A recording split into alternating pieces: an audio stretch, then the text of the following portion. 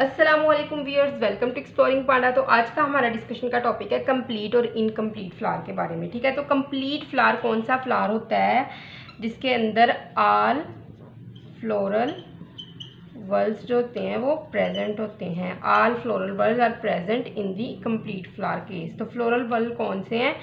Calyx corolla androecium और gynoecium अगर ये सारे प्रेजेंट हैं तो फ्लावर कौन सा होगा? कंप्लीट फ्लावर ठीक है?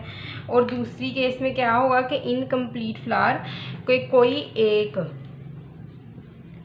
वन ऑफ़ द वन या फिर more floral world minimum one और इससे भी ज़्यादा फ्लोरल वर्ल्ड जो होते हैं, वो एबजेंट होते हैं। ठीक है ना?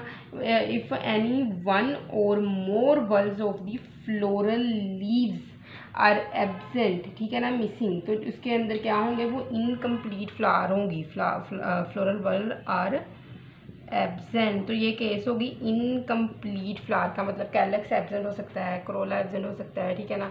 एंड्रोशियम गाइनोशियम ठीक है ना? इनमें से कोई एक एबसेंट हो सकता है तो ये हमारे पास इनकम्प्लीट फ्लावर है। तो अगर हम बात करें कंप्लीट फ्लावर तो ये होते हैं सोलानम के और हबिस्कस के। कंप्लीट फ्लावर्स इनकी एग्ज़ाम्पल है सोलानम और सोलानिसी फैमिली है और हबिस्कस हबिस्कस क्या है चाइना रोज़ इनके कम फ्लावर जो हैं वो कंप्लीट होते हैं, ठीक है?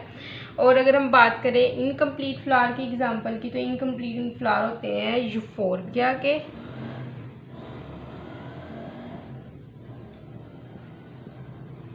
और ककर बिटेसी ठीक है? Cucurbita sorry cucurbita Euphorbia के अंदर क्या होता है? इसके अंदर प्रियंत कंडीशन पाई जाती है।